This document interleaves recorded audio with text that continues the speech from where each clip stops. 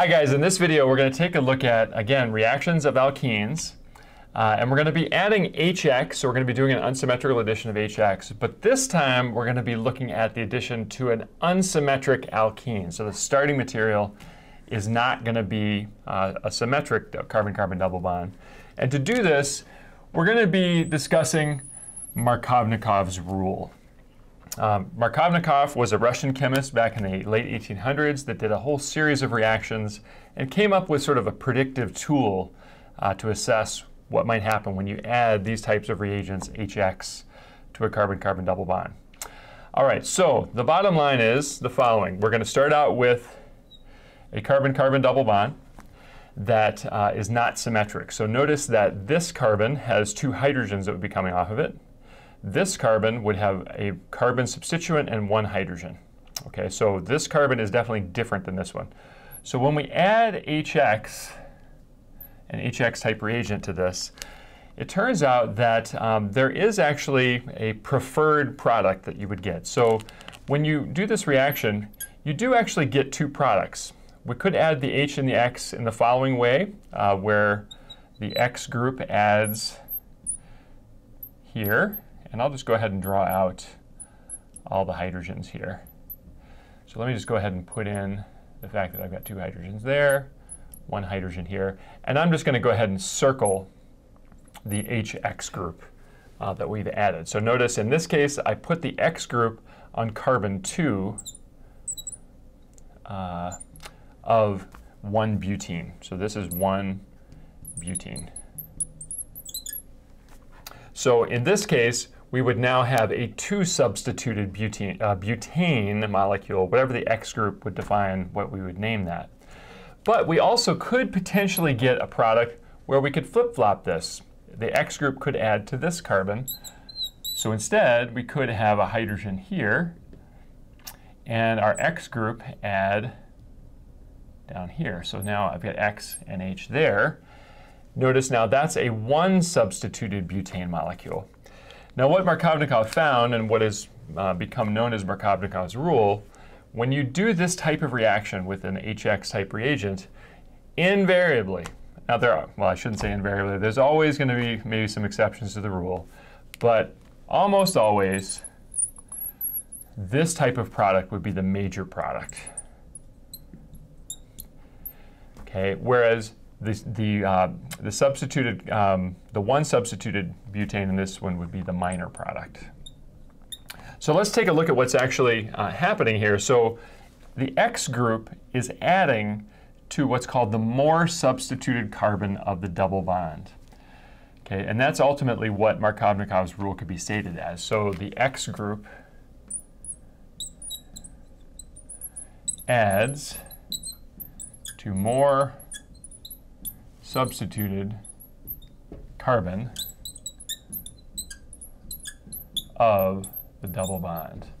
So if we were evaluating our molecule 1-butene here uh, as a starting material, looking at the two carbons, carbon 1 versus carbon 2, we're going to count up the number of carbon substituents off of each.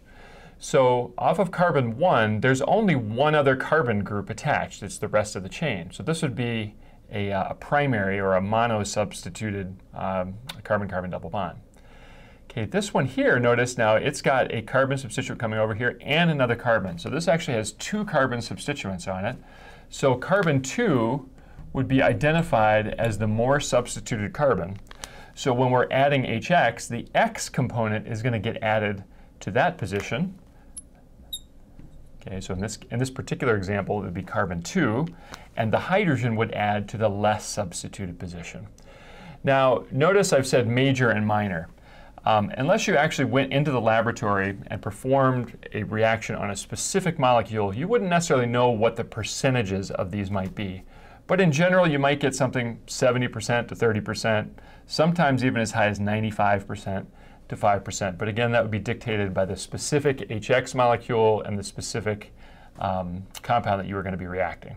So in the next part of the video, we're going to take a look at some examples of using some of these HX reagents and see if we can use Markovnikov's rule to predict uh, the appropriate uh, major product. All right, let's take a look at a, uh, a molecule that we're going to have to apply Markovnikov's rule to uh, if we want to try and ascertain what the major product uh, might be when we're adding HX to an unsymmetric alkene. So before we start, let's just go ahead and name this compound. Um, so we have one, two, three, four, five, six. So this would be 2-methyl 2-hexene.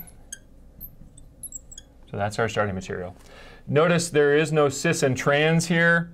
Uh, because the two methyl groups are equivalent, I can't have a trans or a cis relative to this longer chain over here. So just 2-methyl 2-hexene would be the, the compound name for this one.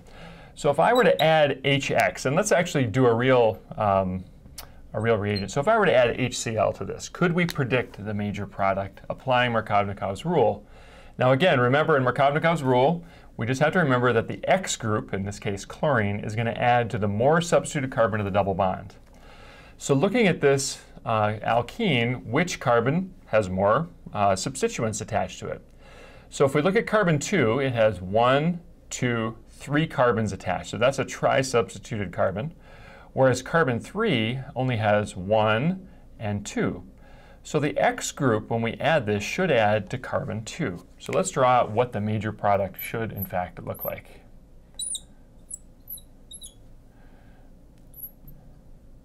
And I'll go ahead and just put in the fact that I've got one H there. So I've added HCl across the double bond. Notice the double bond is now removed. And if I now had to name this compound, okay, um, you can see I've now got a chlorine substituted at the 2 position, and then I have a methyl coming off of the 2 position. So this would be 2-chloro, 2-methyl, and then hexane. Now notice in the name, I've changed from being a hexene, which is a carbon-carbon double bond containing compound, to an alkane, and in this case, an, uh, um, the hexane molecule. So when you're approaching problems like this, they could be phrased in a number of different ways. Um, I might ask you, you know, to draw the structure of the major product, or possibly provide the name of the product. Or another common way to do a question like this is to actually work backwards. So if I give you uh, this as the major product, I could ask, what was the original starting uh, alkene? So let's take a look at one more example where we're going to use Markovnikov's rule. And this time we're going to do that uh, the water addition, uh, or the hydration reaction, where our HX reagent is HOH, or water. So to do this, let's uh, start with an unsymmetric alkene. Let's look at 1-methyl cyclohexene. So if I added our HX reagent, and this time I was going to use water, and an H plus catalyst. Remember that water could be rewritten as HOH. So in this case, the OH group would be our X group.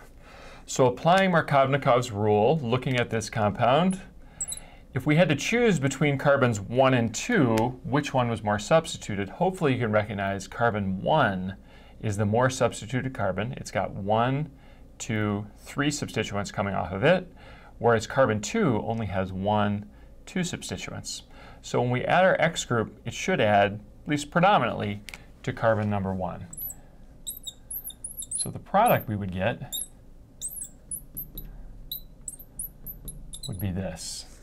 Now, just for clarity, I'll go ahead and put in this hydrogen here just to show the fact that we are adding water across this double bond, H and OH, so this is a very, very important reaction, uh, not only in organic chemistry, but also um, biochemistry. It's a way to convert an alkene into an alcohol. And that process is called hydration. So just like if you were to drink some water, well, essentially the alkene is drinking water. It's essentially absorbing it, becoming hydrated to become an alcohol. So now we've seen another example where, again, adding an HX type reagent to a non-symmetric alkene, so one that doesn't have the same uh, types of carbons on it, um, is going to, the X group is typically going to add to the more substituted uh, carbon of the double bond. In this particular example, we would have a potential minor product that would flip-flop the H and the OH, But again, most of the times when we ask questions or think about this, we're usually going to be focusing on what is going to be the major product. So I hope that helps in terms of explaining Markovnikov's rule. Good luck with some more of your problems.